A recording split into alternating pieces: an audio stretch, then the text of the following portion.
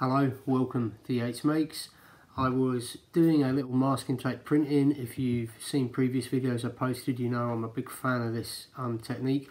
I was making a, a, present for a mate um, and it kind of occurred to me while I was doing it that I could combine some of these techniques as I've had in the past, but perhaps a little more precisely um, with my gel plate and use stencils cut to purpose to help me mask off parts of backgrounds and kind of do some further experiments on combining these two techniques. So um, here we go. Uh, it's a very quick video.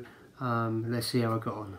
Okay, as you can see in the intro, um, I've done my print, but whilst doing it, I thought it would be good fun to try some stenciled backgrounds. So here I am outlining my print plate to then cut out the perfect stencil I need. So I'm positioning it on the gel plate here it's a kind of like I said it was an afterthought and my print plate happened to be a bit bigger than my gel plate so I've just put a little registration mark there so I know where to position it to get the most out of the space I'm working with. Um, so just inking up I'm, I'm, just playing here. I had no idea if this is going to look any good. Um, inking up with a, a, mix of colours stamping on a few little textures. Um, this is some you know packaging of uh, some fruit and veg um, just stamping in very randomly. I just wanted this to sit kind of subtly in the background.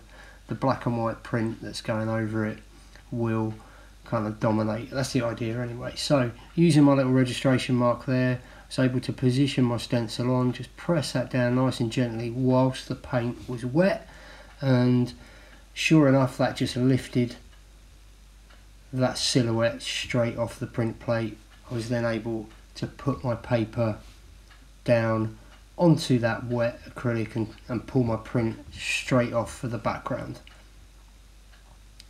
As you'll see in a second, I didn't really know how it was going to look with the kind of oversized print plate against this smaller background, but it, it kind of worked. Um, obviously, as I hadn't planned this out too well, um, you know, I might give it give it another go by preparing a print plate that would, you know, more neatly fit onto my printed background.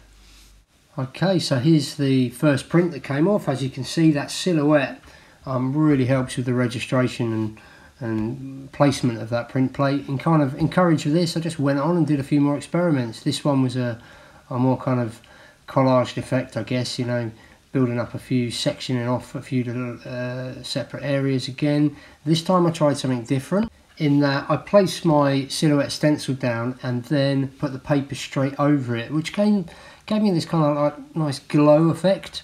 You can see there, I've almost got like a kind of border of my silhouette, which, you know, um, as it turns out, once I've got my print over the top, as you'll see me peeling it back now, um, adds a bit of emphasis to your main your main form, your main shape or feature, which is the, the print plate itself. Yeah, so I was pleased with that one. Again, another kind of variation tried. Okay, the last one, again, just playing around with textures, ripped paper, some um, netting, and yeah, worked just fine. This one I kept very much in the colour scheme, the black and white of the print plate um, that I was intending to put down.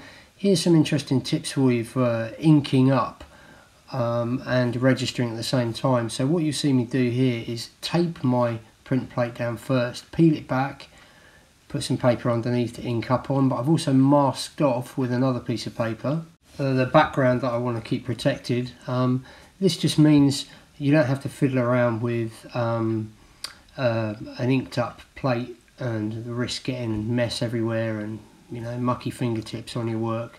Um, and there you go, another one done. Hopefully that little tip will uh, save you some bother and some mess. There you go. Like I said it was a quick video. Um, hopefully there's something in there that you can kind of piece together with previous videos I've posted and hopefully um, expand your own kind of experiments try a few things out if you haven't tried before. Remember all the usual things like subscribe comment below share the video and um, yeah I'll look forward to seeing you soon in another video. Ta -da.